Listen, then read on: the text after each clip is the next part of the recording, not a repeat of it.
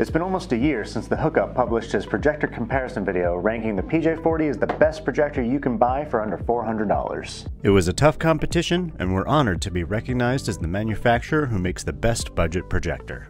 However, we have taken the Hookup's feedback very seriously, and we recognize that the PJ40 didn't perform as well as it could have. The NexiGo team has been hard at work collecting feedback from customers and searching for new ways to improve our products. We've spent the last year innovating on the PJ40, and we have an exciting update to share with you. We're about to release the second generation of the PJ40, enhanced by a series of firmware updates and hardware improvements that we're certain will continue to make the PJ40 a staple in home entertainment.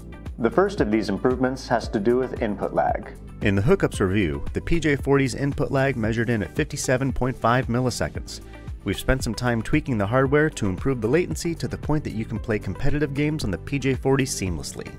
Using the same Leo Bodnar testing equipment that the hookup used in his Roundup review, we measured the updated latency as approximately 16.4 milliseconds. This new latency rate is even better than the rate of the lowest latency projector in the Hookup's review, which, by the way, was our own PJ20. The Hookup also tested the full on to full off contrast ratio of the PJ40, which came in at 1705 to 1. For the new generation of the PJ40, we have implemented changes to lower the black levels and minimize LED light leakage in very dark scenes. As a result, the contrast ratio now stands at less than 3000 to 1. Many of these changes are part of our new firmware update, meaning that existing PJ40s will be able to benefit from enhanced contrast soon. The early firmware produced images that lack detail in shadowy areas. As you can see, the same scene looks significantly more detailed with the new firmware update. Additionally, we've made some changes to the firmware to improve the refresh rate of all PJ40s. Some customers have reported to us that their PJ40 doesn't output at a full 60Hz refresh rate like it should. The use of zoom and keystone correction are the primary cause of this issue. In the update, we've optimized the PJ40 to output at a higher refresh rate in spite of these features. However, we cannot entirely prevent the refresh rate from dropping when you zoom out or use keystone correction. For the best latency results, we recommend avoiding the use of these features as much as possible.